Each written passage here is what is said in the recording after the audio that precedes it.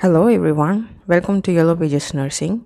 In today's video, we will be discussing about a simple but an important procedure, wound culture, and the procedure how the swab is collected for culture and sensitivity.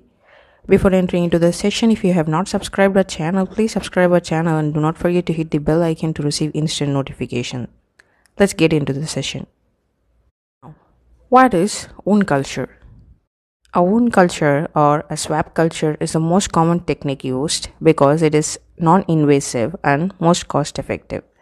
This type of culture will usually identify the bacterial species of the infection and help steer antibiotic therapy. Now, let's look into the indications for taking a wound culture. Clinical evidence or signs and symptoms of wound infection, delayed wound healing, and deterioration of the wound despite antimicrobial or antibiotic treatment.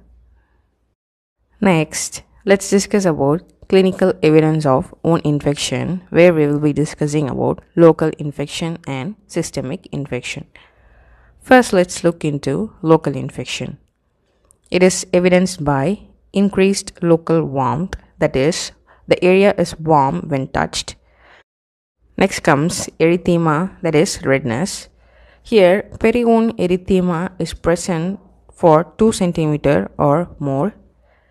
Next symptom is edema, that is peri-wound edema around the wound edges, which is also covering 2 cm or more. Next comes odorous smell. Odor is present even after cleaning the wound. Next will be pain Onset of wound pain, which will be gradually increasing in the wound area. Next will be increased volume of exudate.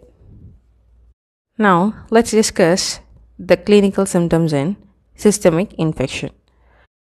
Fever, chills or rigor, increased WBC count, and sometimes patient may have increased blood glucose level. In extreme condition, it may also lead even to septic shock. Now, let's discuss wound culture techniques or how do we collect the wound culture. The first technique for collecting a wound swab is named the Levine technique. This is the most commonly used technique.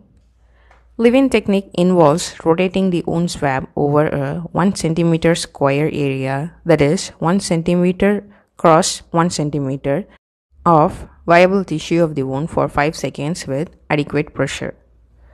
Viable tissue is a red or pink area of the wound.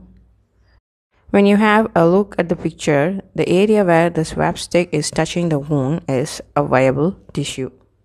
This is the most effective technique used for collecting the wound swab than any other techniques. The other technique is the Z technique, which involves rotating the swab between the fingers in a zigzag fashion across the wound without touching its edges. Now, let's discuss about points to remember before collecting a wound swab. First is antibiotics.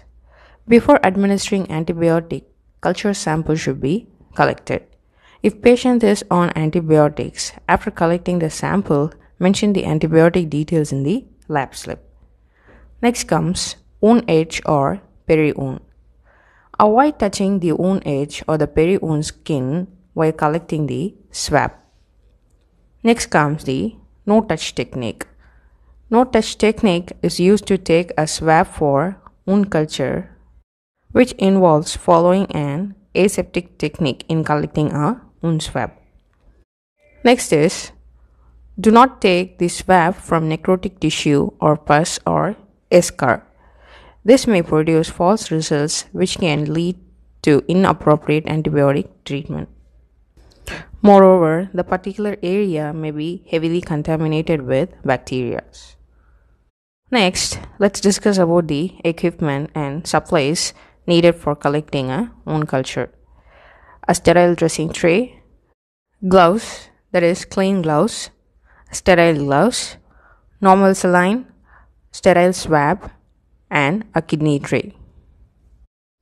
Now, let's discuss the procedure for collecting wound swab culture. Identify the patient and explain the procedure and obtain the consent. Arrange all the supplies needed for the procedure. Maintain proper positioning. Perform hand hygiene. Wear clean glove and remove the soiled dressing of the wound. Remove the glove and perform hand hygiene. Wear clean glove and clean the wound with normal saline and with the help of a kidney tray collect the drain out of the saline. After cleaning, use sterile gauze to remove excess saline from the wound surface by gently touching the area. Follow Levine technique by rotating the wound swab over a 1 centimeter square area of viable tissue of the wound for 5 seconds with adequate pressure. Use sufficient pressure to extract fluid from the wound tissue. Avoid touching the wound edge or peri-wound skin with swab. Immediately place the swab stick into the tube containing the medium and close it. Remove gloves and perform hand hygiene. Wear sterile glove and apply wound dressing according to the physician's order. Remove gloves and perform hand hygiene. Replace all the articles used for collecting the swab.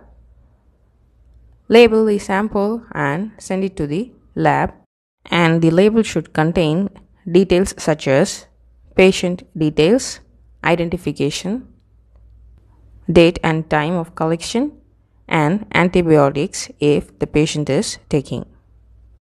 So, this is all about collecting a wound swab for culture and sensitivity and the procedure involved. If you find this video useful, please like it and subscribe it and do not forget to hit the bell icon to receive instant notifications. Thanks for watching and have a nice day.